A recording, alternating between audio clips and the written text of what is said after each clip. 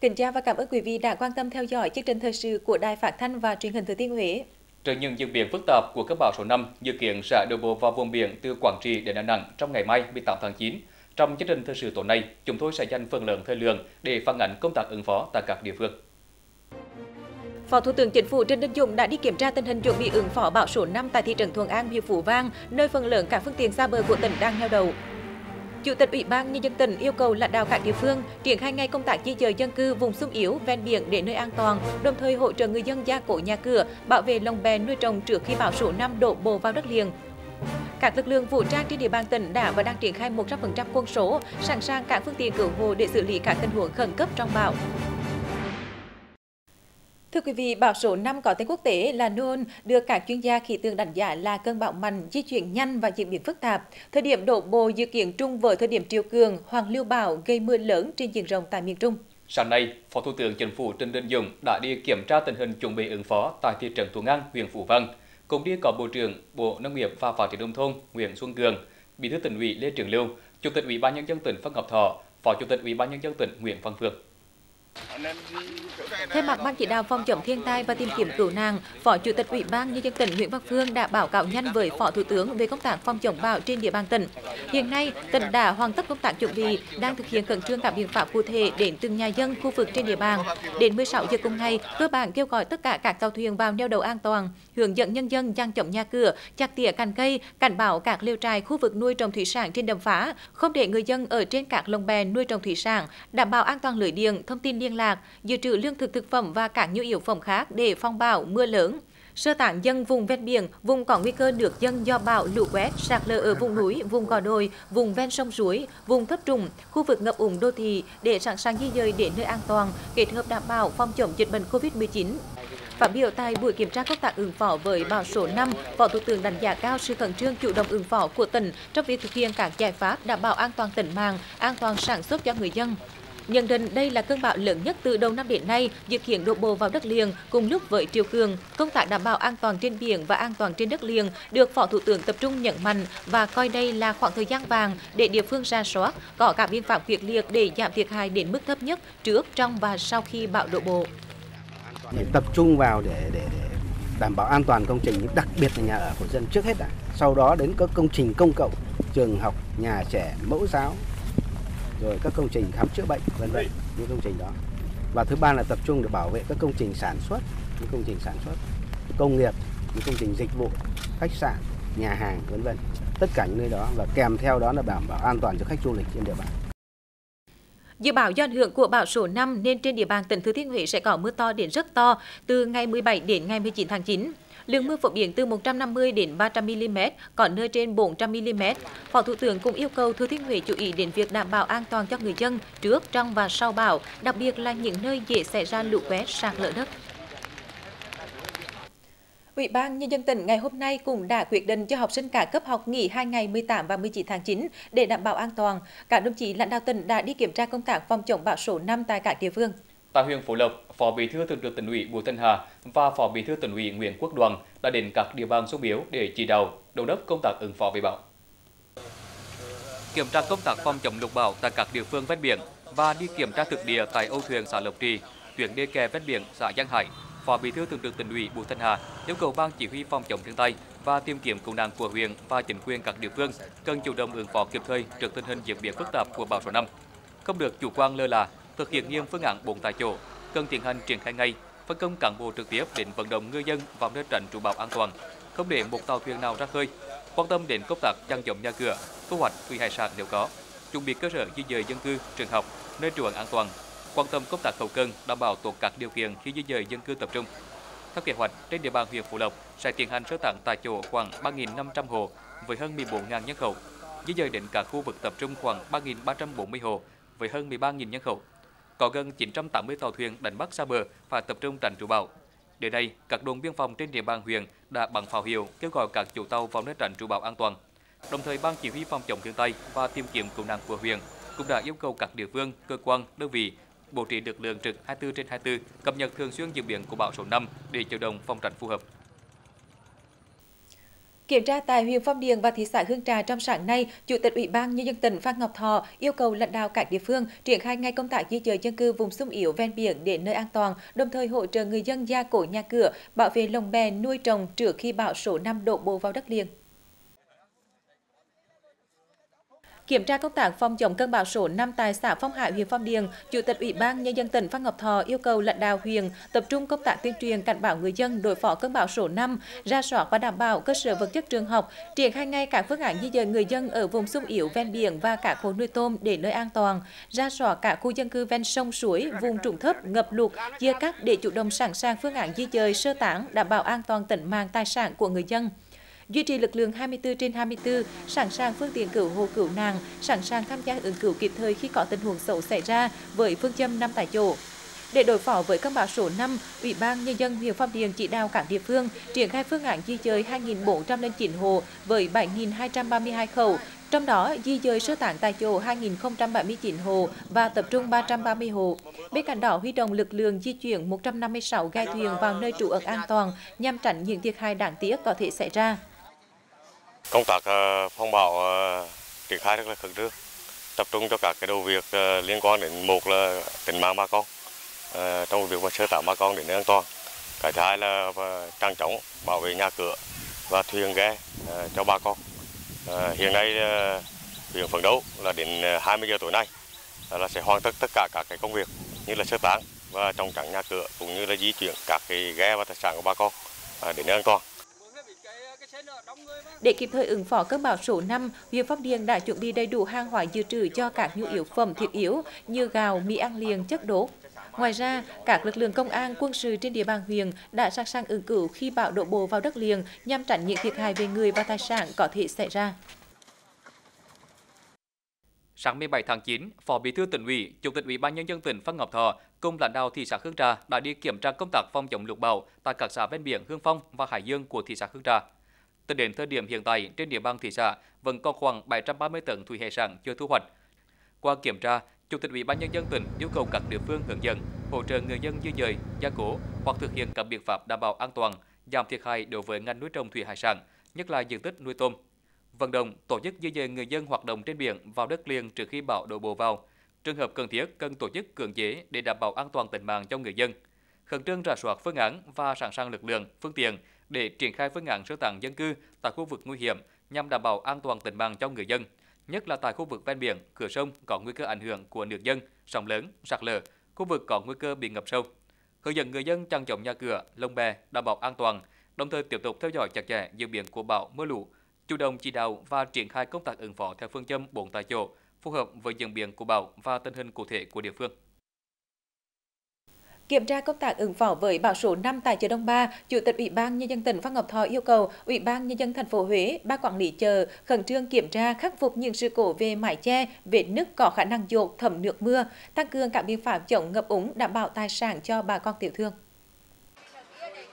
Chủ tịch Ủy ban nhân dân tỉnh Thừa Thiên Huế đã gặp gỡ thông tin về tình hình diễn biến phức tạp của cơn bão số 5 đến bà con tiểu thương. Lãnh đạo tỉnh đề nghị ban quản lý chợ cùng các tiểu thương không được lơ là chủ quan trong công tác phòng chống thiên tai, vận động bà con khẩn trương thực hiện các biện pháp chăn chống kê hàng hóa lên cao để đề phòng ngập do mưa lớn kéo dài.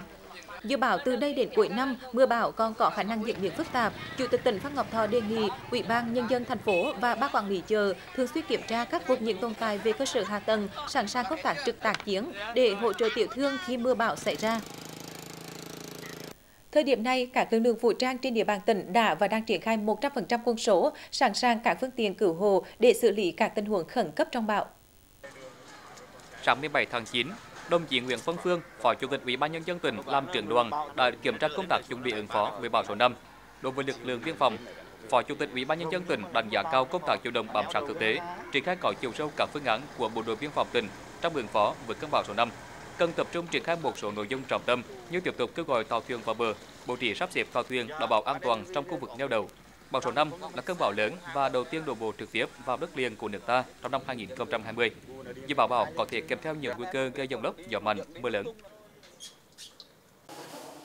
Hiện nay, các đơn vị thuộc Bộ Chỉ huy quân sự tỉnh đã chuẩn bị chú đáo mọi mặt để sẵn sàng tham gia phòng chống bão số 5. Trong đó, quân số huy động 100% cán bộ chiến sĩ, phương tiện ô tô, phương tiện tàu xuồng và các loại trang bị khác như ỏ phao, phao tròn, phao bè, nhà bạc, máy phát điện được huy động tối đa. Các đơn vị đã xây dựng các phương án kế hoạch phòng chống bão sát với tình hình địa phương và đơn vị. Lãnh đạo Bộ Chỉ huy Quân sự tỉnh đã trực tiếp kiểm tra bảo đảm công tác sẵn sàng phòng chống bão tại Ban Chỉ huy Quân sự thành phố Huế và đội tàu phòng hậu cần, kiểm tra cơ động làm nhiệm vụ của phương tiện xuồng cao tốc thuộc Ban Chỉ huy Quân sự thành phố Huế. Lãnh đạo Bộ Chỉ huy Quân sự tỉnh yêu cầu các đơn vị tuyệt đối không được chủ quan, duy trì nghiêm chế độ trực, đảm bảo tốt vật chất, trang thiết bị, đồ dùng sinh hoạt để sẵn sàng tham gia phòng chống bão có hiệu quả. Ngày 17 tháng 9, tại cuộc họp trực tuyến khẩn cấp để triển khai công tác phòng chống bão số 5, Đại tá Lê Văn Vũ, Phó Giám đốc Công an tỉnh đã chỉ đạo các lực lượng tiếp tục ứng trực 100% quân số để phòng chống bão số 5. Trưởng công an các địa phương phải chịu trách nhiệm chỉnh với phương châm bốn tại chỗ để giải quyết phòng chống bão và bảo vệ nhân dân khách du lịch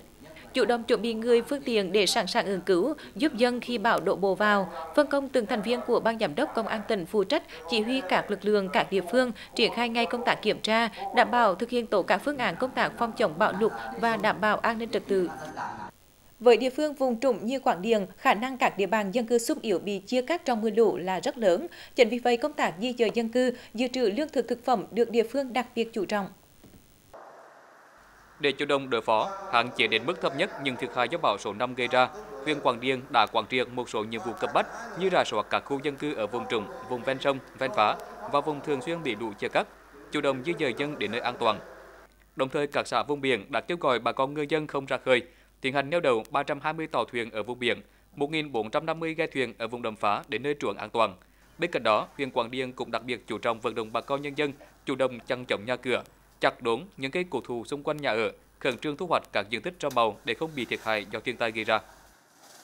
Thì à, chúng tôi cũng à, khẳng định đó là cái cái tính mạng của bà con là quan trọng nhất. Cho nên à, đã đi kiểm tra đôn đốc với các xã thị trấn thì từng xã và từng thôn cũng đã xây dựng phương án di rời sơ tán bà con cho đến và yêu cầu là trước 17 giờ hôm nay là phải hoàn thành trong công tác về à, các cái à, nuôi trồng thủy sản à, các hồ rồi các cái lồng bè thì phải níu níu kéo rồi à, để đảm bảo cái cái an toàn cho hồ nuôi cũng giống như lồng bè. Đến nay, huyện Quảng Điền đã dự trữ 30 tấn gạo, 10.000 gói mì ăn liền, 2 tấn xăng, dầu, 10.000 bao tải và tàu thuyền sẵn sàng ứng cứu khi xảy ra khẩn cấp. Hiện nay, Ban Chỉ huy phòng chống bão lụt và tìm kiếm cứu nạn của huyện đã về các địa bàn để chỉ đạo công tác phòng chống cơn bão số 5. Huyện đã chỉ đạo ngành giáo dục và đào tạo cho các trường học theo dõi diễn biến của cơn bão để cho học sinh nghỉ học. Theo dự báo của Trung tâm Khí tượng Thủy văn tỉnh Thừa Thiên Huế, từ đêm nay 17 tháng 9 đến ngày 19 tháng 9 có khả năng xuất hiện một đợt lũ trên báo động 1 trên các sông của Thừa Thiên Huế nguy cơ lũ quét, sạt lở đất và ngập úng cục bộ cao tại các huyện Nam Đông, Phú Lộc, A Lưới. Nguy cơ ngập úng cục bộ tại các vùng thấp trũng trên địa bàn huyện Quảng Điền, Phong Điền, Phú Vang, thị xã Hương Trà, Hương Thủy và thành phố Huế, cảnh báo thiên tai cấp 1. Chúng tôi sẽ tiếp tục cập nhật diễn biến của cơn bão số 5 cũng như công tác ứng phó tại các địa phương trong các bản tin tiếp theo. Tiếp tục với những thông tin quan trọng khác, thực hiện công văn của Bộ Quốc phòng về việc di dời các đơn vị tại khu vực Mang Cá và bàn giao đất cho địa phương quản lý nhằm tu bổ tôn tạo di tích kinh thành Huế. Vào chiều qua, Ủy ban nhân dân tỉnh tổ chức hội nghị thông qua quy hoạch tổng thể xây dựng doanh trại Bộ Chỉ huy Quân sự tỉnh. Tham dự có Trung tướng Nguyễn Doãn Anh, Tư lệnh Quân khu 4, đồng chí Lê Trường Lưu, Bí thư tỉnh ủy, Chủ tịch Hội đồng nhân dân tỉnh, cùng các đồng chí trong ban thường vụ tỉnh ủy, các cơ quan của Bộ Quốc phòng, Bộ Tư lệnh Quân khu 4, các sở ban ngành cấp tỉnh. Công trình xây dựng doanh trại Bộ Chỉ huy quân sự tỉnh trên diện tích 11,36 ha ở khu đất phường An Đông, thành phố Huế và khu đất 8,5 ha phường Thủy Dương, thị xã Hương Thủy. Với các hạng mục chính là cả công trình dân dụng như nhà làm việc sở chỉ huy, nhà ở cảng bộ chiến sĩ, hội trường, nhà khách, nhà ăn, nhà ở, nhà bếp các hạng mục phụ trợ và hạ tầng kỹ thuật, các thiết bị doanh cụ như trang thiết bị, doanh cụ đồng bộ công trình, các hạng mục nhà để xe, tường rào, cổng, hệ thống xử lý rác thải, nước thải sinh hoạt, sân đường nội bộ, điện chiếu sáng, cây xanh, thảm cỏ với tổng mức đầu tư dự kiến khoảng 612 tỷ đồng. Để đảm bảo đẩy nhanh tiến độ dự án, ông Phan Ngọc Thọ, Phó Bí thư tỉnh ủy, Chủ tịch Ủy ban nhân dân tỉnh, trưởng đoàn đại biểu Quốc hội tỉnh đề nghị các sở ban ngành đoàn thể cấp tỉnh quan tâm bố trí vốn đẩy nhanh các bước thẩm định, phê duyệt dự án cũng như các bước thiết kế bản vẽ thi công, dự toán và triển khai thi công xây dựng hạ tầng kỹ thuật. Đây là công trình trọng điểm của tỉnh có công năng phương án kiến trúc mang đậm nét Huế, đáp ứng yêu cầu là nơi làm việc của cán bộ chiến sĩ Bộ Chỉ huy quân sự tỉnh đồng thời đáp ứng tốt cơ sở vật chất để cán bộ chiến sĩ phát huy sức mạnh trong công tác huấn luyện sẵn sàng chiến đấu, xây dựng chính quy, rèn luyện kỷ luật, xây dựng chi đảng bộ trong sạch vững mạnh, xây dựng cơ quan đơn vị vững mạnh toàn diện, góp phần thực hiện thắng lợi nhiệm vụ chính trị trong tình hình mới. Trong đợt bùng phát dịch Covid-19 cuối tháng 7 đến nay, Trung tâm Giám sát Điều hành Đô thị Thông minh Thừa Thiên Huế tiếp nhận và xử lý hơn 23.000 cuộc điện thoại qua đường dây nóng. Thực hiện các nhiệm vụ của tỉnh giao trong công tác phòng chống dịch Covid-19 trong hai đợt bùng phát dịch vừa qua, Trung tâm Giám sát Điều hành Đô thị Thông minh Huế IOC đã triển khai hỗ trợ công tác phòng chống dịch trên nền tảng công nghệ thông tin như số hóa và hỗ trợ giám sát tại trung tâm CDC các điểm kiểm soát, các khu cách ly, sổ hóa và tiếp nhận đăng ký lưu trú trực tuyến với hàng chục nghìn trường hợp. Đặc biệt trong đợt bùng phát dịch Covid-19 tháng 7 năm 2020, đến nay, trung tâm này thực hiện tiếp nhận và xử lý hơn 23.000 cuộc điện thoại qua đường dây nóng, tiếp nhận và xử lý trên 1.000 ý kiến của người dân qua mạng xã hội Facebook, Zalo, Đô thị thông minh. Trung tâm còn hỗ trợ đắc lực cho tỉnh trong chỉ đạo điều hành công tác phòng chống dịch trên nền tảng công nghệ thông tin, đáp ứng yêu cầu nhanh chóng, hiệu quả và chính xác cao. Đặc biệt là tổng đài 1900 1075 rất hiệu quả trong công tác phòng chống dịch, cần tiếp tục phát huy. Thưa quý vị, thời điểm này, các địa phương đang trong giai đoạn cao điểm thực hiện tháng an toàn giao thông cho học sinh đến trường. Với nhiều hình thức tuyên truyền phong phú, công an các địa phương đã cung cấp những kiến thức và kỹ năng cần thiết cho học sinh tại các trường có nguy cơ mất an toàn cao đặc biệt là các trường trên tuyến quốc lộ 1A, ghi nhận của phóng viên tại thị xã Hương Trà. Với chủ đề An toàn giao thông cho nụ cười ngày mai, tại buổi tuyên truyền, trên 1.500 em học sinh trường Trung học phổ thông Đặng Huy Trứ đã được cung cấp nhiều thông tin bổ ích mang tính thời sự như tai nạn giao thông trong nước, trong tỉnh và trên địa bàn thị xã, đặc biệt là tình hình học sinh vi phạm luật giao thông đường bộ, kỹ năng và các hành vi ứng xử có văn hóa khi tham gia giao thông. Các quy định pháp luật đối với lứa tuổi các em khi sử dụng phương tiện xe máy điện và xe đạp điện để buổi tuyên truyền thêm hiệu quả, các cán bộ chiến sĩ cảnh sát giao thông còn đặt những câu hỏi tình huống, câu hỏi liên quan đến bài tuyên truyền cho học sinh.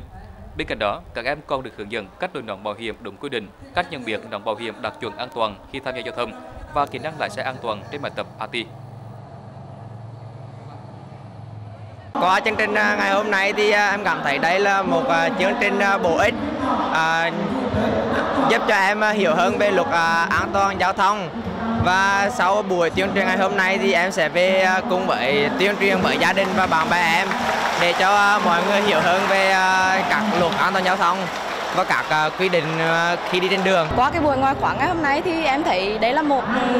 chương trình rất là bổ ích. Nó giúp cho chúng em hiểu thêm được cái tình hình an toàn giao thông ở trên địa bàn và cũng như qua đó là có thể giúp em được ờ, cái kiến thức ờ, làm thế nào để tham gia giao thông một cách an toàn.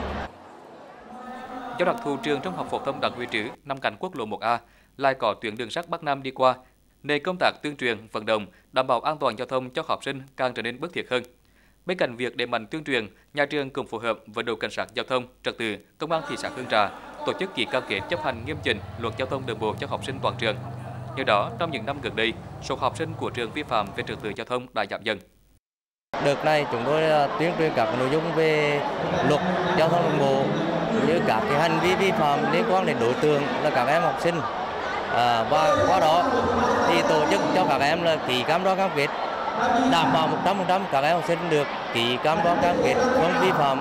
và không được điều khiển các loại phương tiện khi chưa đủ tuổi đến trường.